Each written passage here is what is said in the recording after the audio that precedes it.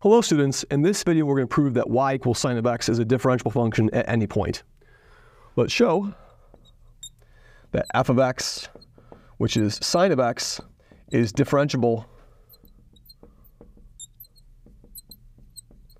at any point x equals c.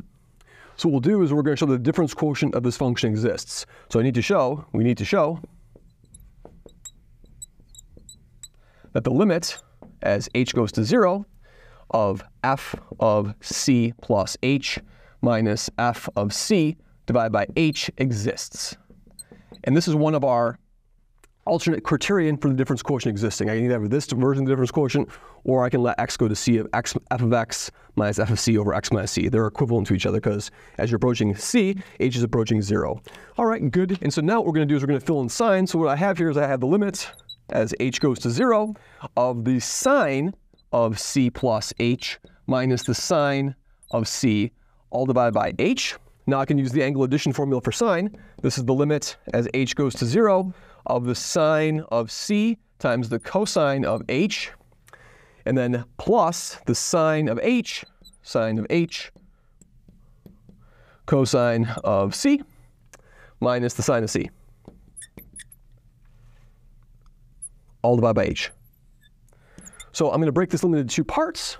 The first part I'm going to break it into is the following. This is going to be cosine of c, that's just a constant, times the limit as h goes to 0 of sine of h over h.